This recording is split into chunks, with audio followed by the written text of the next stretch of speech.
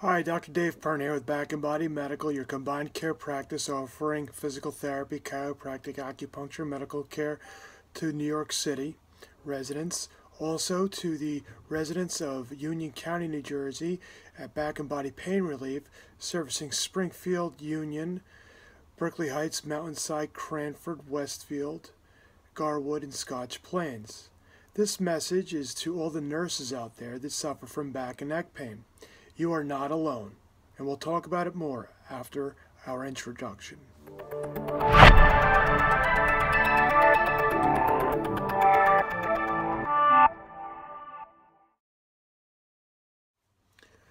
A recent study showed that musculoskeletal pain was the number one reason that nurses had incapacity to work. They res- responded at 70% within one year or even 64% within the last month were suffering from back and neck pain. We here at Back and Body Medical take care of many nurses and doctors, and to hear this study makes complete sense.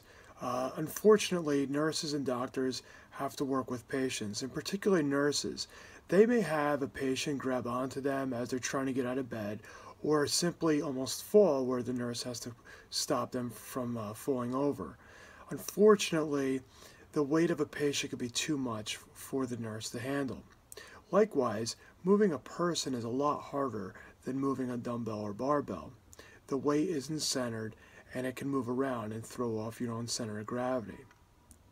If you suffer from neck or back pain from working and seeing patients, we invite you to come by and let us see how our combined care approach has helped hundreds of other nurses and doctors throughout New York City and New Jersey area.